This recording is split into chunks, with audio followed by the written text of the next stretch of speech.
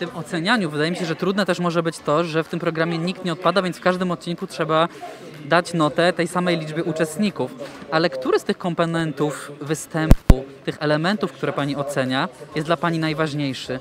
Zawsze to są, co, są to co najmniej trzy czynniki. Jest to podobieństwo głosu, który dla mnie jest bardzo ważnym elementem I dla mnie jako widza. e, i dla widzów pewnie też. E, Jest e, odegranie roli aktorskiej, czyli jak najbardziej wierne odtworzenie postaci, osobowości. Ale jest też ten trzeci, taki najtrudniejszy do zdefiniowania i do ocenienia też e, aspekt i element, czyli to coś, to coś nieuchwytnego, energia, prawda, pewne wzruszenie, pewna emocja, która e, w danej postaci powinna się e, pojawić. Po prostu chyba chodzi o tę magię i, i ten program w ogóle kojarzy mi się tak pozytywnie. Tym bardziej zdziwiło mnie ostatnia wymiana komentarzy e, między panem Bartkiem Kasprzykowskim a innymi bohaterami właśnie te, tej wymiany zdań.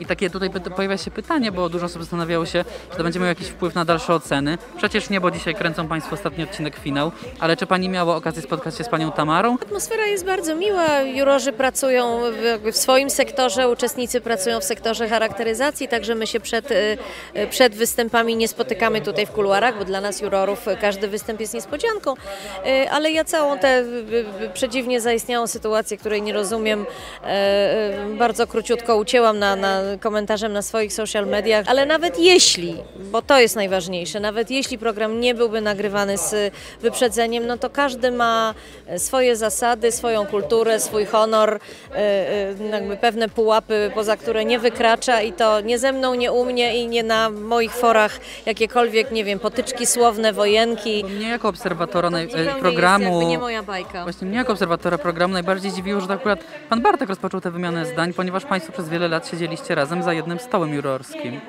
Myślę, że wszystkich to, to zdziwiło, zresztą z tego co wiem, to też telewidzowie to w jakiś sposób e, komentowali. Dla nas to wszystkich było, było zupełnie niezrozumiałe, bo przecież rzeczywiście wszyscy jako koledzy e, e, po pierwsze występowaliśmy wcześniej jako uczestnicy w tym programie, w związku z czym znamy program z obu stron. Po drugie przez ponad dwa lata wspólnie za jednym stołem siedzieliśmy jako jurorzy i nigdy między nami nic się niemiłego nie wydarzyło, więc myślę, że nie było powodów ani do jakiegoś takiego ataku i takich e, dziwnych, jakby nieeleganckich słów pod adresem kogokolwiek. Myślę, że wszyscy byli tym zdziwieni, było, minęło, nie ma co, nie ma co tego roztrząsać. Ja się staram po prostu od takich sytuacji i takich ludzi trzymać jak najdalej.